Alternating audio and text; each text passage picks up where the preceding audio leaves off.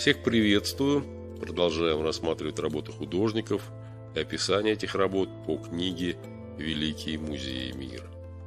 Работа называется «Герой, любующийся прекрасной купальщицей». Кота Радастхан. Около 1770 года бумага 30 на 20. В индийской миниатюре одним из популярных сюжетов является купание красавиц. Созерцание этого зрелища было романтизировано и нашло отражение в эпосе Кришна, наблюдающий за купанием пастушек Гопи. На данном произведении изображен внутренний двор богатого дома, в его центре расположен бассейн. Молодая, красивая женщина, судя по всему, только что завершила купание. Она надевает юбку, которую принесла служанка. Длинные волосы героини не спадают по спине. На ней набор ювелирных украшений, приличествующий знатной даме. Жемчужное кольцо на лбу, кольцо в носу и ожерелье между высоких грудей.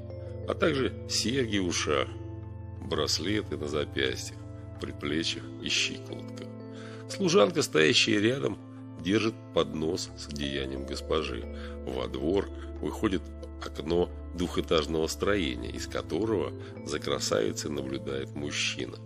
Судя по наряду, жемчужные ожерелья на груди, браслеты на предплечьях и запястьях, дорогой головной убор перед зрителем знатный человек. За стеной двора видны листья банановых деревьев, которые окружают дом. В 1625 году при падишахе Джахангире Ката стал отдельным княжеством где получила развитие школа миниатюры.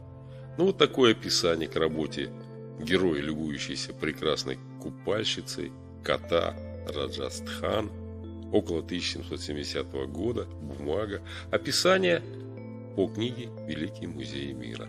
Пока-пока, до свидания.